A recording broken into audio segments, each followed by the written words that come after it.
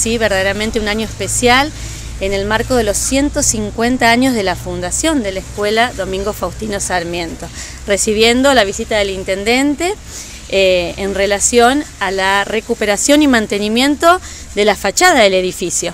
Bien. Eh, Intendente de la Municipalidad, asume los, los costos de toda esta inversión. ¿Qué tal? Un gusto. ¿Qué tal? ¿Cómo va? Buen día. Gracias por venir. Gracias a Mariel por recibirnos.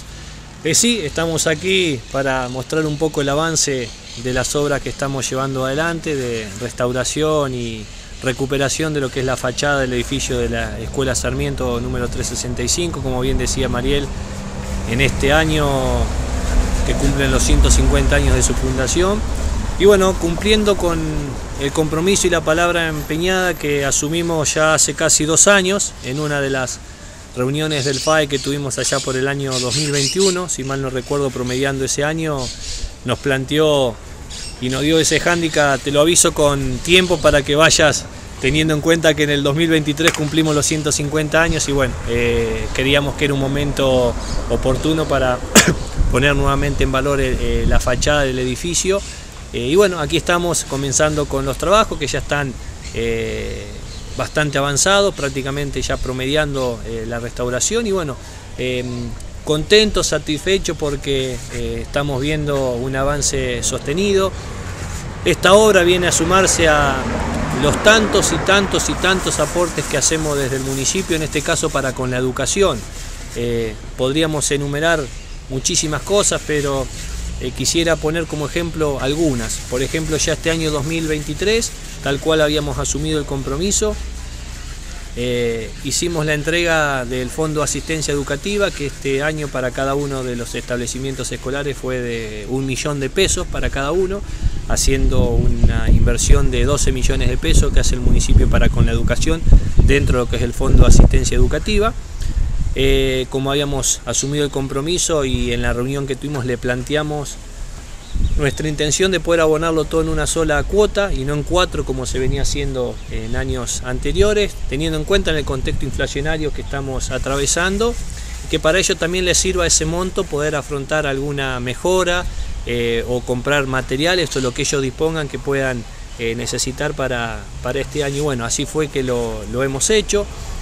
Podríamos también enumerar en cuanto a, lo que tiene que ver con la climatización, por ejemplo, de los ambientes. Hoy tenemos la satisfacción de decir que todos y cada uno de los establecimientos educativos de nuestra ciudad tienen eh, calefacción o aire acondicionado con grandes aportes o acciones que llevamos adelante desde el municipio, entre otras cosas. Por ahí veíamos eh, a principio de año eh, en los cables o en las noticias a través de internet que había lugares de nuestra provincia donde no se iban a dictar las clases por las altas temperaturas, como en su momento también en el invierno no lo iban a hacer por las bajas temperaturas. Y bueno, acá teníamos la satisfacción que ese problema no, no lo tienen. Quienes vienen de otros lugares, eh, docentes o supervisores por ahí se quedan asombrados con la eh, con las comodidades o con, con eh, todas las prestaciones que tienen los edificios y las aulas de, nuestra ciudad. También es algo que tal vez lo tomamos ya como algo normal, pero que tiene que ver, por ejemplo, con la conectividad de Internet. Hoy todas y cada una de las instituciones educativas de nuestra ciudad tienen eh, Internet con un ancho de banda que había sido aumentado hace muy poco tiempo atrás, donde el municipio se hace cargo de, de abonar eso. Vemos eh, que están lanzando los distintos planes de conectividad, Santa Fe más conectado, que se están haciendo tendidos de fibra óptica, pero si el municipio hoy no estaría aportando en este caso para ese, eso puntual, hoy eh, seguramente no tendrían el servicio de internet que tienen, que tanto estaríamos necesitando, porque hoy es prácticamente un, un servicio esencial. Así que para nosotros es una satisfacción estar permanentemente eh, en contacto y, en conocimiento de las necesidades de los eh, distintos establecimientos educativos en el municipio dentro de las posibilidades que, podamos estamos ahí para, para acompañar. Intendente, ¿cuánto es el costo invertido en este establecimiento educativo? Mira, en cuanto a esta obra puntualmente y teniendo en cuenta que eh, es una obra que comenzó ya hace un tiempo, nos fuimos adelantando, fuimos un poco previsores, sobre todo con la compra de los materiales que se necesitan para llevar adelante esta obra, teniendo en cuenta que es lo que tal vez aumenta en mayor cantidad. Eh, estimamos que una vez que la obra esté finalizada va a ser una inversión superior a los 4 millones de pesos que vamos a, invertir eh, para poder realizar este trabajo que, vuelvo a reiterar, es la restauración y la eh, reparación total de lo que es la, la fachada del edificio. Tiempo, ¿Qué tiempo va a demandar, Juan? Nosotros estimamos que será un par de meses más para poder terminarlo con la obra. Comenzamos hará ya prácticamente y también casi un mes y medio largo que hemos comenzado con la obra.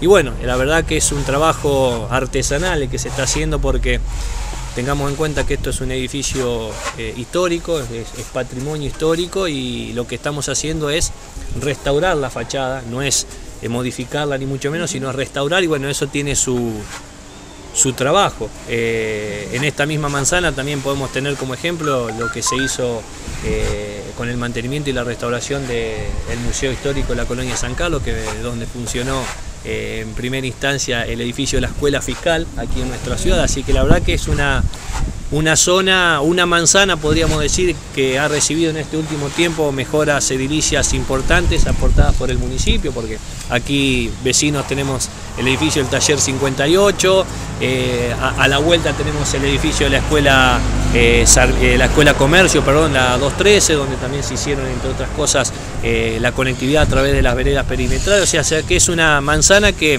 en lo educativo es muy importante para nuestra ciudad y podemos dar fe y tenemos la satisfacción de que en todas y en cada una de esas obras y en esas instituciones el municipio estuvo presente.